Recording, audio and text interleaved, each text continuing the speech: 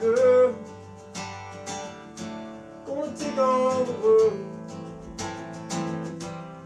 Take on the world, our girl.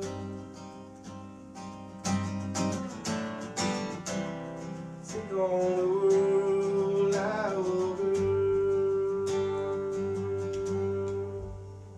This is a really cool song. Thanks. There's some, there's some, uh, some interesting tension built into the song already. Uh, because you've got, uh, uh, your first two lines are basically the same length. Play them. I was darling as something to be. Whatever is treasure, well, she's got the most. So da da dee da da da dee da da da da da dee da da da dee da da da. And so the so the message that the um, uh, that the line length is giving us, and that the uh, the melodic uh, the, the melodic uh, repetition is giving us is that these two lines should rhyme. That's what we're saying, and you say, "Sorry, Charlie, no rhyme here," and uh, we think, "Huh?" And then uh, uh, you go on with with the third and fourth line and rhyme most with coast.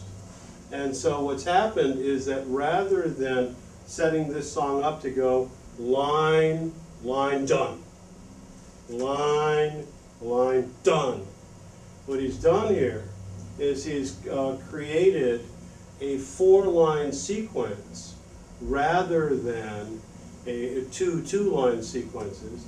And the consequence is that um, when, when, when we get to uh, uh, the second verse here, we're, we're going to be hearing this group of four again here, rather than hearing a group of two, group of two, group of two, group of two, group of two, group of two, which would get overly repetitious. So it's a, it's a really interesting move that you made, and you have violated expectations by not rhyming where the music says you should rhyme. Play that again. Play, play the first four lines, and watch how, watch how the rhyme scheme makes us wait here. It's pretty interesting.